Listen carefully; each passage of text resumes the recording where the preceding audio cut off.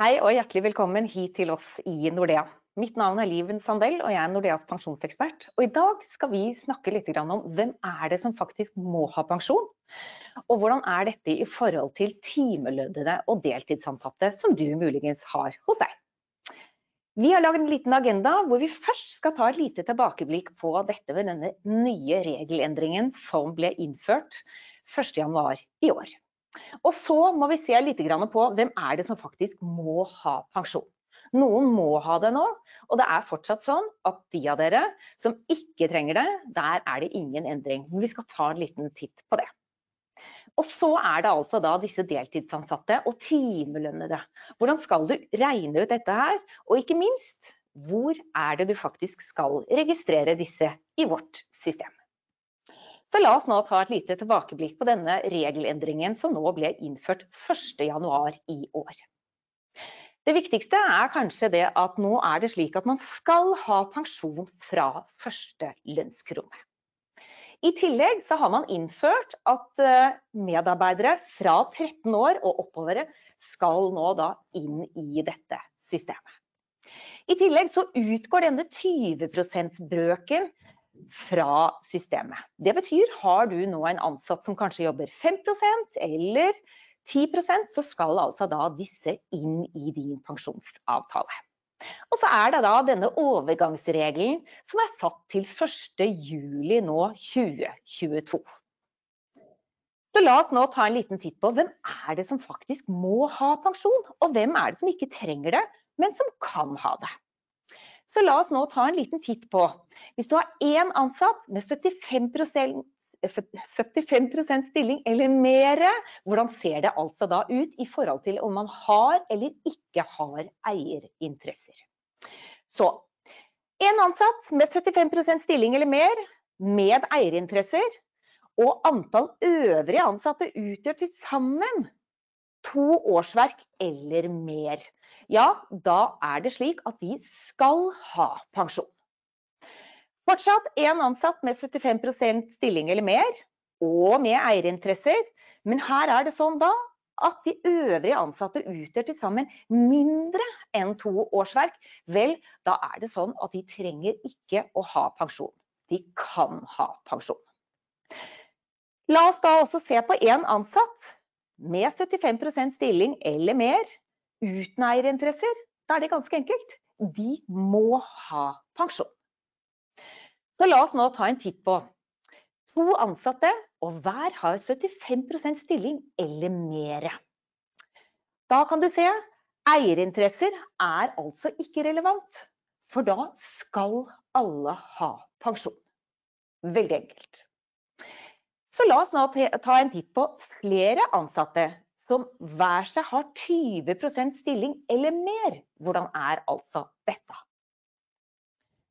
Her har du flere ansatte som hver seg har 20% stilling eller mer. Summen av deltidsstillingene utgjør til sammen to årsverk igjen, eller mer. Vel, da skal de ansatte ha pensjon. Har du flere ansatte som hver seg har 20% stilling eller mer, men summen av deltidsstillingene utgjør til sammen mindre enn to årsverk, altså under 200% vel, da trenger man altså ikke å ha pensjon for disse. Jeg tenkte også jeg skulle si da, de som da skal ha pensjon, her skal man ha minimum 2% sparing fra den første kronen opp til 12G. Du kan ha maksimum 7% fra første krone opp til 12G. Så kan du ha et tillegg for de medarbeiderne med lønn over 7,1 G på hele 18,1% For disse da som tilhører kan ha pensjonsboksen, la oss tenke oss at du er selvstendig næringsdrivende. Da er det slik at du kan ha maks 7% sparing fra 1 G opp til 12 så nå har vi tatt en liten titt på hvem det er som må ha pensjon, og hvem som kan ha pensjon. Så nå skal vi se på hvordan dere skal beregne denne stillingsprosenten og årlig lønn for deltidsansatte hos dere. Det er nemlig slik at uh, arbeidsmiljøloven uh, sier at ett årsverk er altså 1950 timer. Nå kan det jo være sånn at for akkurat din bedrift så stemmer ikke akkurat dette tallet, timeantallet. Da justerer du det i forhold til hva som er riktig for din bedrift. Men i vårt eksempel nå, så bruker vi altså da 1950 timer, som er et årsverk i arbeidsmiljøloven. Her har vi da altså en medarbeider som vi har valgt å si skal ha 300 kroner i timelønn. Vi har da regnet ut at fra vedkommende nå begynte i år og ut året, så vil han eller hun jobbe minimum 600 timer. Da er det ganske enkelt. Du tar 300 kroner ganger med 600 timer, og du får altså da en årlig lønn på denne medarbeideren på 180 000 kroner. Og jeg skal etterpå vise hvor disse 180 000 kronene skal legges inn i vårt eh, system. Så det var lønn, og nå skal vi ta en liten titt på dette med stillingsprosent. Vi går tilbake igjen, og så ser vi på altså det eksempelet på lønn. Vi tar altså da de 600 timene, og så sier vi da at et årsverk er på 1950. Da tar vi 600 timer, deler på 1950 og ganger med 100. Og vips så har vi altså en stillingsprosent på denne vedkommende på 30,7. Husk nå på det at det er viktig at dere gjør denne utregningen. Denne utregningen skal jo da også inn i avmeldingen. Så da vet dere det. Her har vi tatt timelønn gange med antall timer som vi antar at den ansatte kommer til å få minimum, og fikk da en årslønn her. Den skal inn i vårt system. Når det gjelder stillingsprosenten, så tok vi de antatt minimumstimene delte på da antall årsverkstimer, som er 1950, ganger med 100, og vips, så fikk du altså da en stillingsprosent på den deltidsansatte hos deg.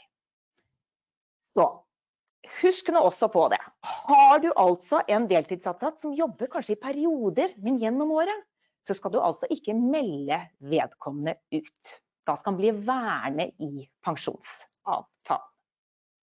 Er du fortsatt litt usikker på dette med lønn og stillingsprosent? Jo, tipsene våre er registrer en antatt årlig minimumslønn og minimums eh, stillingsprosent ved årets start, altså når vedkommende begynner. Og så korrigerer du dette ved årsslutt. Og så er det altså da når du korrigerer dette til en høyere lønn og en høyere stillingsprosent, vil det bli beregnet et ekstraregnskudd som du da vil få på fakturaen. Og så er det også sånn at det er ganske viktig at dere melder inn den ansatte når vedkommende faktisk begynner. Og hvorfor det? Jo, selvfølgelig så skal du jo ha eh, pensjon fra første dag de starter. Men skulle det inntreffe et forsikringstilfelle, så handler det jo faktisk om at den uføre- og etterlattedekningen som ligger på din avtale, beregnes og utbetales i forhold til den lønnen som er registrert på akkurat det tidspunktet hvor altså dette forsikringstilfellet inntreffer. Så hvis du da har en ansatt som begynte 1.7 i år, så er det viktig at du også da melder vedkommende inn fra 1.7. For tenk om det skulle skje vedkommende noe da i juli, august eller senere, og du ikke har meldt den inn, vel da inntreffer jo akkurat dette nederste punktet her. Vi har ikke stått i avtalen og har dermed heller ikke krav på noe dekning. Så husk på det. Så hvordan registrerer du nå et nytt medlem inn i systemet vårt? Det er kjempeenkelt. Du logger deg inn i bedriftsdialogen, sånn som du kjenner. Og så velger du altså her 'registrer nyansatt'.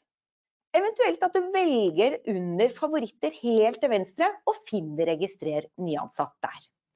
Så kommer denne siden opp, og her inne så skal du da legge inn riktig ansattdato helt nederst til venstre. Den stillingsprosenten som jeg viste dere tidligere, den skal da inn her. Og årlig lønn i henhold til stillingsprosenten skal altså da inn under årlig lønn. Ok? Så husk nå på det. Meld vedkommende inn fra riktig dato. Meld inn riktig um, antatt minimums både stillingsprosent og årlig lønn. Og så kan du justere dette her ved årets slutt. Et lite tips til. Vi har fått en del spørsmål om hva om vi nå har en ansatt på kanskje 13 eller 15 eller 17 år som nå skal inn. Vedkommende begynte kanskje i fjor. Kan dere da melde tilbake igjen her på ansattdato? Nei. Du kan tidligst melde den ansatte inn da fra 1.1.2022. Men så er det også sånn at du har et valg i forhold til overgangsreglene, så du trenger ikke melde vedkommende inn før 1.7.22. Men altså ikke før 1.1 i år, men eventuelt hvis du heller vil ha vedkommende inn fra 1.7. Det er lov i forhold til overgangsregler. Og så kan det jo være at noen av dere nå har en ansatt som har vært ansatt over lengre tid, i 100 stilling, og hvor dere nå skal gjøre en justering på stillingsprosenten. Jeg har derfor lyst til å vise dere hvor er det dere gjør dette, og hva er det som skal til. Vi går altså tilbake til førstesiden, altså dashbordet i bedriftsdialogen. Her finner du medlemsoversikt, enten her eller helt til venstre under velg favoritter, hvis det er der du har lagt den. Du går inn på denne, og her kan dere da legge inn årlig lønn og stillingsprosent, og fra hvilken dato. Og la meg nå minne om, her i eksempelet så står det at vedkommende har en årlig lønn på 500 000, og stillingsprosenten er 100. La oss nå tenke oss at akkurat denne medarbeideren skal nå begynne å jobbe 50% Da er det slik at på stillingsprosent justerer de fra 100 til 50. Men så må du også huske på å justere årlig lønn da fra 500 000 ned til 250 000 kroner. Okay? Så det er viktig at stillingsprosent av årlig lønn er like. Og husk også da på endringsdato, altså fra når er det dette skal skje. Nå gjetter jeg at det er en del av dere som eh, lurer litt på dette med avmeldingen. Hva skjer? Da kan jeg fortelle dere det at i Nordea så er vi nå eh, veldig opptatt av å få avmeldingen oppe og går. Vi har en del kunder i testpilot, og eh, i løpet av året så vil vi kunne omboarde flere og flere. Så jeg vil at dere skal vite det, at selv om avmeldingen kommer til å komme også hos oss, og IT-teknikerne jobber som bare det i forhold til dette, så må dere ikke glemme, i mellomtiden så må dere altså da legge inn riktig stillingsprosent og årlig lønn på alle ansatte i bedriftsdialogen.